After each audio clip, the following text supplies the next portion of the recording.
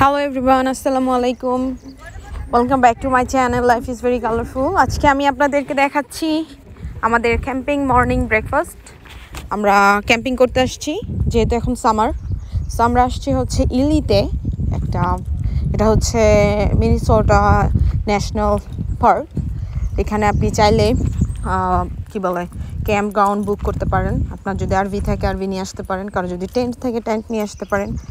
So আমরাও সেভাবে চলে আসছি সব কিছু নিয়ে, আমাদের আরভি, টেন্ট সব কিছুই নিয়ে।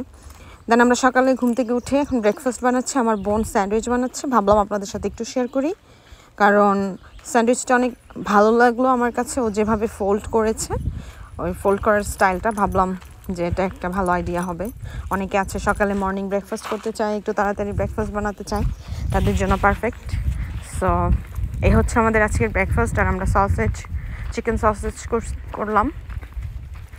আর আমরা যেখানে আসছি, এখানে একটা লেক আছে। লেকটা খুবই সুন্দর।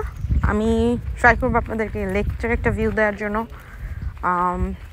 হয়তো বা এখন না, কিছুক্ষণ পরে আমরা যখন যাব কি বলে সুইমিং করতে, তখন আমি আপনাদেরকে ভিউটা দিব। সো এ হচ্ছে অ্যাভোকাডো দিয়ে দিল। চিজ অ্যাভোকাডো সব কিছু আপনার যা যা ইচ্ছা আপনি দিতে পারেন। আমরা অ্যাভোকাডো লেটেস্ট দেন একটু ব্ল্যাক অ্যান্ড হোয়াইট স্যাসমি মানে আপনার ইচ্ছে মতো আপনি ভেজিটেবল অ্যাড করতে পারেন এই স্যান্ডউইচটাতে তো আমরাও অ্যাড করে দিলাম। আমাদের sandwich almost ready so fold করে ফেলল। এই হচ্ছে ফোল্ডিং সিস্টেম দেখেন কি সুন্দর ইজি একটা স্যান্ডউইচ আপনাকে আলাদা করে কোনো কিছুই ভাজতে হবে না।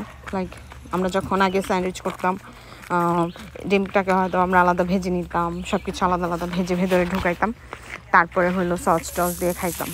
কিন্তু আসলে না, এই হচ্ছে সসেজ এটা চিকেন সসেজ তো আপনাদেরকে আমি স্যান্ডউইচের ইনসাইডের যে পিকচারটা সেটা একটু দেখাবো, যে লুকসটা কত সুন্দর।